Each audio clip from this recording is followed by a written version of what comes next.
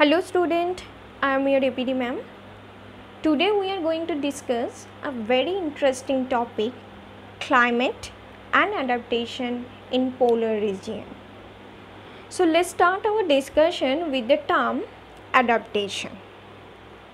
So adaptation is a process of adjustment of the living organism with the changing environment. Now all of you know with time our nature, our environment is gradually changing. And if we want to survive in this changing environment then we have to cope up with it. And there are several strategies through which we can cope up with the changing environment. It may be physical may be biological may be behavioral. But the main aim of this adjustment is actually the increase of survivability. The fitness of each and every organism can be increased by this adjustment and that is the adaptation. That adjustment process is the adaptation. And it's very important for each and every living organism for their own survival. And today in this class we will just want to know the creating power of the nature in the polar region. So start it with the climatic condition in the polar region. So all of you know there are two poles. One is north pole and another is the south pole. And the north pole actually surrounds the russia siberia canada alaska and greenland. And south pole surrounds the antarctica. And it shows a very extreme climatic condition in which the temperature can be minus 40 degree centigrade. And all over the year the whole area is covered with thick snow. And only 6 months it gets the sunlight so in this uh, extreme climatic condition where survival is uh, zero if we think but still there are several beautiful creatures that can be found and that is the creation of nature. So there are several creatures. There are polar bear, penguin, there are several fishes, reindeer, arctic tern, sperm whale and Siberian crane, there are seals. So all over this polar region different types of mammals, birds, fishes can be found. So, in as per our syllabus, we will discuss about the polar bear, penguin and some migratory organisms. So, let us start our discussion with polar bear. So, polar bear are restricted into the northern pole. That means in Russia, Alaska, in a large amount in Canada, Greenland. So, these are the distributions of the polar bear. So, in this extreme condition, the polar bear survive with some special features and that are the adaptive features. So, first of all they have padded feet with sharp claws. And these padded feet help them to move on the ice. And sharp claws help them to capture their food material and also the ice so that they can walk easily. And the next one their white fur. And these white fur actually help them to hide themselves into the whitish background and this strategy is the camouflage. Next one they have very strong sense of smell. And this feature help them to detect the prey and also the predator of themselves. And next one they have thick layer of fur.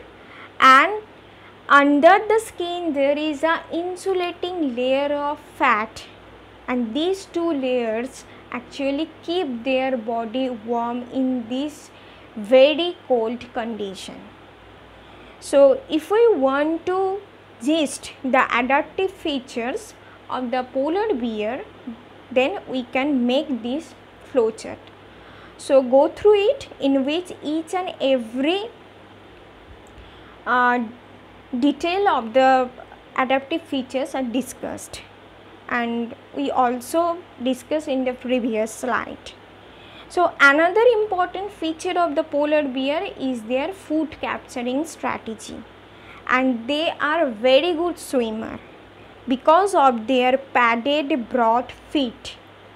And they are very good hunter because they have sharp claw sharp teeth and very strong sense of smell and this is all about the adaptive strategy of the polar bear.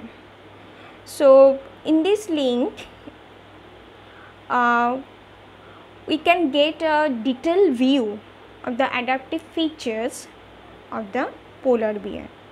So, have a glance through this link.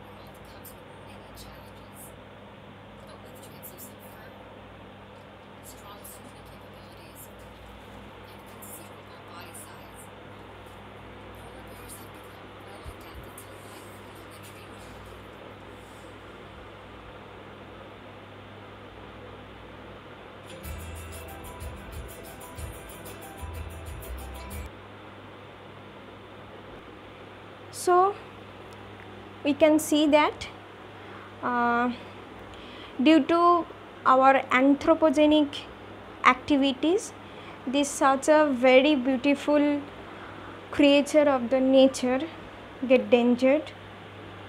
And uh, with time it may be extinct from the wild. So we should very careful and eco-friendly for this very beautiful and excellent creature of the nature. So now move on the next creature that is the penguin. So penguin is uh, distributed into the southern pole, especially into the Antarctica. And like the polar bear, the penguin also develops some special adaptive features to cope up with this extreme condition. The first one is the padded feet with claws. Now similar with the polar bear, it's also helped them to move on the ice and help them to capture their prey. Next beautiful uh, feature is that they have a sharp beak with a tongue which has backwardly directed barbs. Now see here there are many tooth like structure and these are the barbs. And these structure actually help them to adhere with the food material or to uh, capture the food material or prey firmly so that they can get it easily. Now the next feature is the presence of flipper. And this flipper is the modified wings and flipper helps them to swim. And next feature is the uh, they have a very densely packed feather which keep their body warm. Next one they have thick layer of fat under the skin which also keep their body warm. And a very short blunt tail which help to keep their body balance during swimming and also walking. And apart from these, penguin is also a very good swimmer for their streamlined body, webbed feet and short tail and the flipper. So, these are the adaptive features of penguin and this is the gist of the adaptation or adaptive feature of the penguin. So, go through it and next one next strategy of the adaptation of some polar uh, creatures is the migration.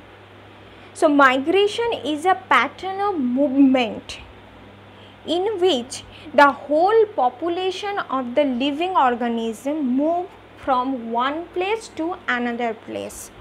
It may be temporal, it may be permanent and the main aim to collect their food for shelter and for their reproduction and also to avoid a very extreme condition and this type of migration is very common in the birds like Siberian crane, Arctic tern. And apart from the birds, there are many fishes, insects, mammals that also show the migration. So, Siberian crane is a very good example. So, have a look of the Siberian crane. It's a type of birds and we can identify it by its size and also it has a red colored mask in the head just behind the beak and two side of the head and also their eye is uh, yellowish and their legs are uh, pinkish and they have a very large wing with a efficient strong flight muscles. So, by these uh, features we can identify the Siberian crane easily. And if we talk about the migratory strategy then we can see that the native place is the Siberia. And during winter to avoid very cold extreme condition and also uh, for their reproduction they actually migrate. The whole population of the Siberian crane moves from Siberia to the Southeast Asia. That means China, India, Pakistan, Afghanistan, these all these places. And in India, Bharatpur Bird Sanctuary in Rajasthan is a famous for the migratory Siberian crane. And for this, they have to travel a very long distance by crossing the Himalayan range.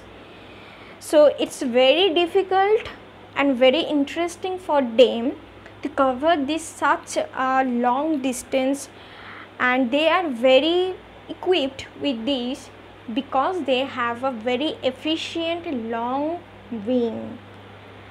So in this way in the polar region uh, the creatures survive in this extreme condition